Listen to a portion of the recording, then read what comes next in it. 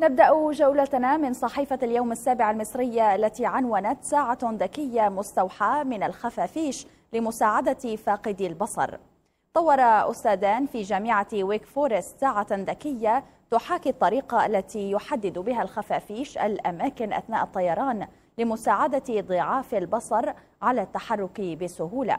ويحمل الجهاز الجديد اسم HELP وفكرته مستوحاة من دراسة خاصة بقدرات الخفافيش والهدف من الساعة مساعدة ضعاف البصر على معرفة العقبات التي يمكن أن يجدوها في طريقهم.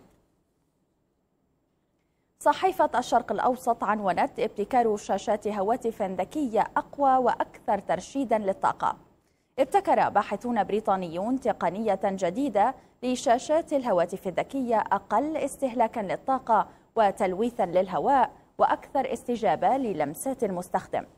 وقال الباحثون أنهم قاموا باختراع هذه التقنية في مسعى منهم لجعل شاشات اللمس الخاصة بالهواتف المحمولة أرخص وأقوى وأقل ضررا للبيئة.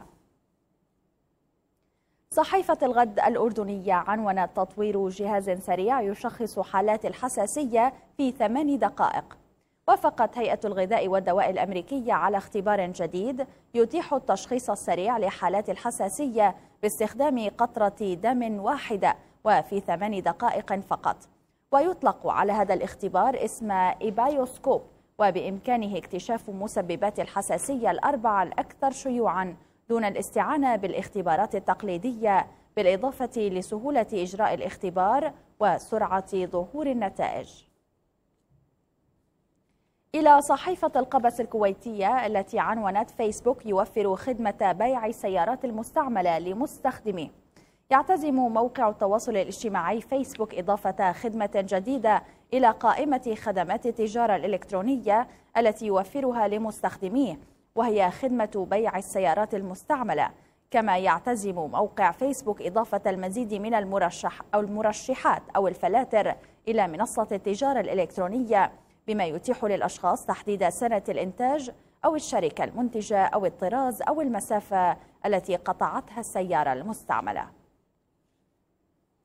وأخيرا مع صحيفة البيان الإماراتية التي عنونت الأخطبوطات تزحف إلى شواطئ بريطانيا. زحفت عشرات الأخطبوطات خارجة من قاع البحر وغزت أحد الشواطئ البريطانية. وقد أثار ذلك حيرة رواد الشاطئ الذين تساءلوا عن سبب خروجها وتركها للماء. وقد أعرب أحد خبراء بيولوجيا الكائنات المائية عن اعتقاده بأن السبب يعود لحالة البحر الذي كان هائجا تماما في الآونة الأخيرة لكنه أكد أنه لم يرى مثل هذه الظاهرة من قبل.